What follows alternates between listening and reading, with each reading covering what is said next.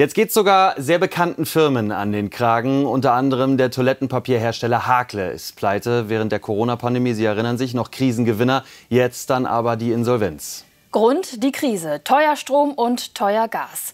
Ja, und auch der Schuhhersteller Görz ist insolvent. Seit fast 150 Jahren verkauft die Kette Schuhe, jetzt ein Sanierungsfall. Und solche Meldungen werden wir jetzt wohl immer, immer öfter hören.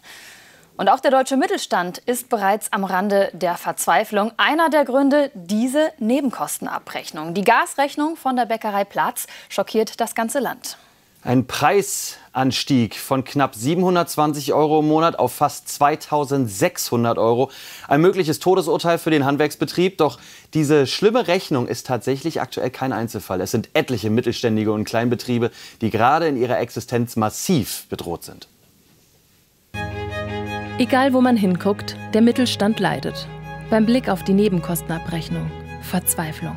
Ich habe eben die neue äh, Heizkostenpreise bekommen, äh, die ab 1. Oktober gelten und äh, da sind Preissteigerungen von bis zu 200 Prozent drin und das ist kaum zu stemmen für zwei Betriebe. Da geht es also in den sechsstelligen Bereich, die da oben drauf kommen und das ist nach zweieinhalb Jahren Corona nicht zu leisten. Thomas Metzmacher betreibt das Restaurant Eselei in Frankfurt. Dem 52-Jährigen graust es auch schon vor der Stromrechnung. Auch da rechne ich mit einer Erhöhung von mindestens 200 Prozent. Und äh, da wird sehr viel mit Strom gekocht und gearbeitet in der Küche. Und da ist ein großer Verbrauch. Also bei, bei mir in einem Gastronomiebetrieb schon bei über 100.000 kW pro Jahr. Und da muss ich einfach mit 50.000 bis 60.000 Euro Aufpreis rechnen. Bei Tim Kortüm, Bäcker aus Dortmund, ist die Situation dramatisch. Der Strompreis der hat sich mehr als verdoppelt, von ähm, 20 Cent die Kilowattstunde netto auf über 40. Und der Gaspreis hat sich fast vervierfacht, von 3,5 Cent auf ähm, etwas über 13 Cent die Kilowattstunde. Das ist für uns natürlich echt ähm, extrem. Also wir haben dadurch mittlerweile Mehrkosten von fast nur 110.000 Euro. Nur Mehrkosten durch die Energie, die man natürlich als kleiner Handwerksbetrieb gar nicht auffangen kann. Der Besitzer des Schürener Backparadies versucht alles, damit sein Betrieb überlebt. Hebt die Temperaturen im Kühlbereich, schaltet die Öfen schneller aus. Das reicht natürlich nicht, um das aufzufangen und man kann es auch nicht an die Kunden weitergeben, weil wir sowieso schon Probleme mit den Rohstoffkosten haben. Dadurch müssen wir wahrscheinlich privat halt auch viel reinstecken jetzt die nächsten Jahre in den Betrieb und äh, so dass eigentlich am, der, ja, der gesamte Gewinn wird natürlich aufgefressen. Vielen Betrieben droht der Untergang. Preissteigerung ist nicht gut. Äh, weil als kleiner Unternehmer, wir verlieren unsere Kunden und denke ich, äh, ich bin neu hier und seit März bin ich hier gekommen und jetzt einfach diese Zeit natürlich äh, ist es schwer zu zahlen. Hekmat Alizadeh aus Berlin weiß nicht weiter. Der 27-jährige Bäcker aus Dortmund greift bereits in seine private Tasche. Wenn die Kosten dementsprechend steigen, muss ich natürlich privat auch viel Geld in den Betrieb einlegen. Und äh, ja, dann muss man natürlich ein bisschen verzichten irgendwo auch mal auf Urlaub, eventuell auch ein, ja klar im Auto gucken oder dass das Auto auch mal stehen bleibt oder ob man auch überhaupt alle Autos braucht und ähm, ja vielleicht regional ein bisschen mehr machen, gar nicht so weit fährt. Äh, Spritpreise sind natürlich für uns auch enorm, da wir im Betrieb auch viel ausliefern. Ähm, ja, es ist halt echt eine schwierige Situation und ich denke, alle müssen da ein bisschen auch privat am, am Wohl Wohlstand einbüßen. Thomas Metzmacher muss die Kosten eins zu eins an die Verbraucher weitergeben. Da wird es viele geben, die das nicht akzeptieren möchten, aber es ist leider so, wie es ist. Egal ob Wäscherei, Gaststätte oder Bäckerei, die Insolvenzwelle rollt. Viele Existenzen stehen auf dem Spiel. Der Mittelstand, die Säule der deutschen Wirtschaft, droht einzustürzen. Das sind also die echten Probleme der echten Geschäfte, der echten Betriebe und der Restaurants. Und jetzt hören wir uns noch mal den Bundeswirtschaftsminister an, was er dazu sagt. Das sehen wir ja jetzt überall, dass Läden, die darauf angewiesen sind, dass die Menschen Geld ausgeben, Blumenläden, Bioläden, Bäckereien gehören dazu, dass die wirkliche Probleme haben, weil es eine Kaufzurückhaltung ja. gibt.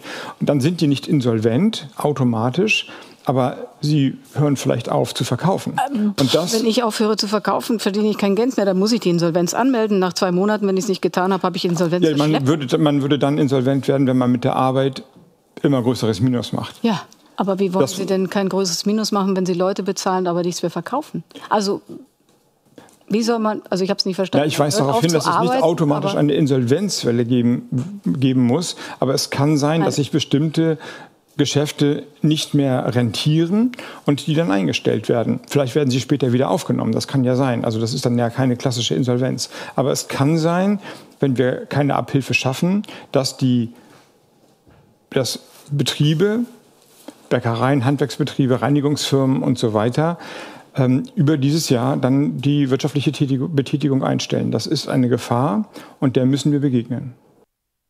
Eine sehr eigenwillige Zusammenfassung. Dazu jetzt hier bei uns im Studio Bildchefredakteur Johannes Boje. Grüß dich, guten Morgen. Hi. Aber wie weit ist der Wirtschaftsminister aktuell von der Wirklichkeit entfernt? Das ist Hi, guten Morgen erstmal. Absurd. Ja, es ist in der Tat vollkommen absurd, denn das, was Habeck da ja einerseits beschreibt, ist eine klassische Insolvenz, nämlich als Wirtschaftsunternehmen habe ich laufende Kosten, kann aber meine Produkte nicht mehr produzieren, folglich nicht mehr absetzen, verkaufen, habe also keine Einnahmen, aber Ausgaben. Das führt in die Insolvenz.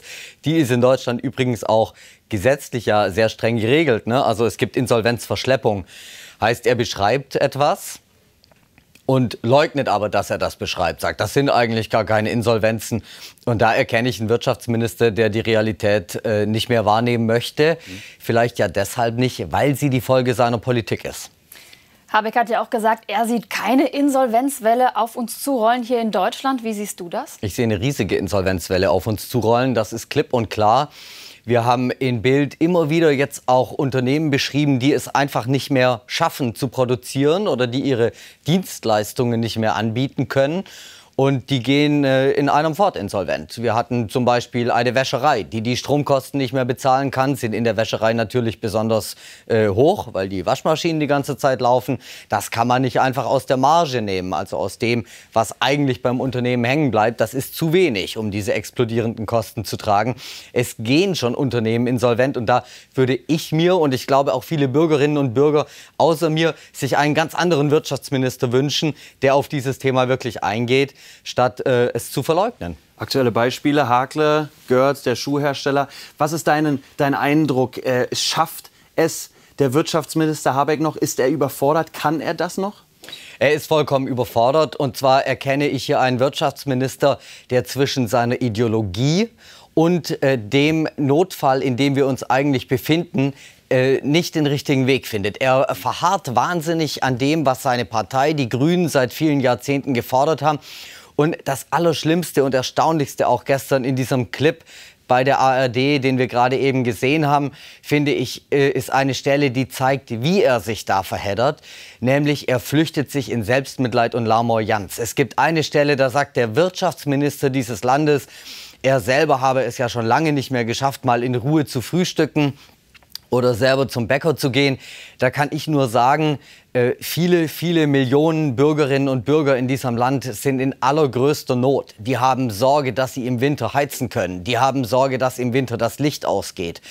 Und dass da der Wirtschaftsminister, wenn er nach einer Insolvenzwelle gefragt wird, davon berichtet, dass ihm die Zeit für ein ausführliches oder ein gemütliches Frühstück fehlt, das ist völlig daneben und da sieht man, wie er sich verirrt. Also kein Mitleid von deiner Seite? Wenig Mitleid mit Leuten, die gewählt sind und die auch jetzt in dieser Notsituation eigentlich ganz anders handeln müssen. Der Bundeskanzler hat ja klar gesagt, es kommt jetzt eine Zeitenwende. Ich finde nicht, dass die Regierung, der der Bundeskanzler vorsitzt, äh, äh, vorsteht und schon gar nicht der Wirtschaftsminister das einlöst. Und das sieht man ja auch beim Thema Atomkraftwerke, das Habeck gerade auch äh, versiebt hat. Das sind ja die grünen Kernthemen. Kohleausstieg und AKW-Ende und die von vielen geforderten, die geforderte Rolle rückwärts. Da tun sich die Grünen ein bisschen schwer. Gefährden Sie damit nicht auch den Wohlstand dann von uns allen mit Blick auf den Herbst und auf den Winter? Doch, Lisa, da hast du vollkommen recht. Das tun sie. Und ähm, äh, auch beim Thema Atomkraft sieht man den Habeck den Wirtschaftsminister Habeck schwanken zwischen dem, was seine Partei einfach seit vielen, vielen Jahrzehnten fordert, Atomausstieg, eine Welt ohne nukleare Technik und so weiter und so fort, und aber der unbedingten Notwendigkeit, jetzt die Atomkraftwerke laufen zu lassen. Und herausgekommen ist eben äh, ein, ein fauler Kompromiss. Man lässt die Atomkraftwerke irgendwie so halb noch für drei Monate in der Hinterhand, lässt sie aber keinen Strom produzieren. Nur wenn es zu extremen Notlagen kommen würde, würde man sie wieder hochfahren. Dabei sagt wirklich jeder Experte, jeder, der sich mit äh, äh, Strombedarf auskennt, es ist jetzt ganz klipp und klar an der Zeit in der Energiekrise bei der Verzickfachung der Preise das Angebot zu erhöhen.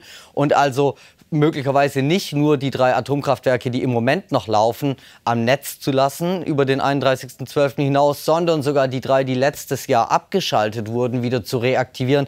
Andere Länder, daran möchte ich noch mal ganz kurz erinnern, bauen Atomkraftwerke. Und das ist einfach eine vollkommen absurde Politik. Die Grünen äh, äh müssen in der Gegenwart re regieren, sind in der Vergangenheit gefangen. So wird es nichts. Isoliert er uns damit weiterhin? Also wenn du schon sagst, dass andere Länder in Europa das eigentlich nicht teilen und dieses Ende der Atomkraft nicht nachvollziehen können, nimmt er uns da zu sehr raus? Ja, natürlich. Also ähm, ich höre es aus den äh, USA, ich höre es auch aus vielen europäischen Ländern, wo man sagt, okay, die Deutschen nehmen sich in einer globalen Krise mit dem Aggressor Russland, mit dem Angriffskrieg in der Ukraine, mit der Aggression durch China, mit einem extrem steigenden elektrischen Energiebedarf, im Übrigen auch durch die Elektrifizierung zum Beispiel der Automobilbranche. Ja, immer mehr Autos fahren ja mit Strom. In diesem Zeitraum nehmen sich die Deutschen raus, etwas ganz Besonderes, etwas ganz Eigenes zu machen. Sie wissen es besser als alle anderen Länder oder als die allermeisten anderen Länder, meinen sie. Und das wird uns natürlich im Ausland übel genommen, keine Frage. Und die deutschen Atomkraftwerke zählen ja auch zu den sichersten und saubersten der Welt. Deutschland ist ja in den letzten Jahren zur, hat als eine der führenden Industrienationen auch gegolten. Haben wir es uns vielleicht zu gemütlich in dieser Position gemacht? Haben wir uns zu lange darauf ausgeruht? Ja, ich gehe äh, oder ich, ich sehe das genauso. In Deutschland haben eben die großen Industrien ähm, äh, äh, immer den Wohlstand gesichert, was Deutschland und das auch bereits unter der Regierung von Angela Merkel vollkommen verpasst hat, ist der Anschluss an, eine, an ein neues Industriezeitalter, an das Industriezeitalter der großen Start-ups, also der Firmen, die ganz kleinen jetzt neu gegründet worden sind und die dann mit digitaler Technologie ihre Länder wirklich nach vorne bringen. Das hat äh, Amerika hervorragend geschafft, wo praktisch sämtliche Digitaltechnologie, die wir hier einsetzen, kommt entweder aus Amerika, teilweise leider auch aus der Diktatur China. Wir haben es nicht geschafft, eine eigene Industrie aufzubauen. Wir schalten sogar noch die Industrien ab, die typisch für uns sind, darunter die Nuklearindustrie, die Atomkrafttechnik. Äh, und das führt äh, wirklich in eine düstere Zukunft. Wir sehen die Anzeichen einer Deindustrialisierung in Deutschland und eines Endes des Wohlstands in diesem Land. Das muss man klipp und klar sagen. Und da hilft es dann eben auch nicht, wenn der Bundeswirtschaftsminister es sich einfach schönredet. Die Fakten sprechen für sich. Droht uns da ein kompletter Absturz? Ja, auf jeden Fall. Bedauerlicherweise ist das so. Es gibt natürlich immer auch wieder mal Hoffnung. Ich würde gerne auch mehr Hoffnung verbreiten. Aber wenn man sich anguckt, wie zum Beispiel der Anteil der erfolgreichen Firmen Deutschlands am Gesamtanteil der erfolgreichen Firmen in der Welt kontinuierlich abnimmt, da muss man sagen, leider fangen wir an, uns von der Weltspitze zu verabschieden und laufen in wirklich ernsthafte Probleme rein. Das ist leider eine Analyse, auch wenn es an der einen oder anderen Stelle Hoffnung gibt. Auch in Deutschland gibt es erste Start-ups mittlerweile. Kann die Politik das Ruder noch rumreißen? Was müsste jetzt passieren, dass das eben nicht so endet? Die Grünen müssen mit der Realitätsverleugnung aufhören. In der Außenpolitik haben sie das schon vor langer Zeit getan. Da muss ich auch sagen, macht Annalena Baerbock in aller Regel einen sehr, sehr starken Job, auch wenn ich mit Details ihrer Politik nicht äh, übereinstimme. Aber da haben sie sich ähm, äh, super klar positioniert. Und äh, meine große Hoffnung ist, dass sie, solange sie in der Regierung sind, es ihnen auch mit der Energiepolitik wirklich gelingt. Ich habe aus der Partei gehört, dass Jürgen Trittin, das Urgestein der Grünen zum Thema Atomaustritt, soll mit Austritt aus der Partei oder mit einem riesigen Aufschrei in der Partei gedroht haben, sollten die Grünen an der Atomkraft festhalten. Da kann ich nur sagen, klasse, da hätte man gleich zwei Fliegen mit einer Klappe geschlagen. Jürgen Trittin verschwindet endgültig von der Bildfläche. Und äh, die Atomkraft läuft weiter, die Energie ist ein bisschen besser gesichert in Deutschland. Also ich hoffe, dass die Grünen zu einem vernünftigeren Pfad zurückfinden. Das hoffen wir alle. Vielen Dank, Chefredakteur Johannes Boje. Danke für das Gespräch. Danke euch.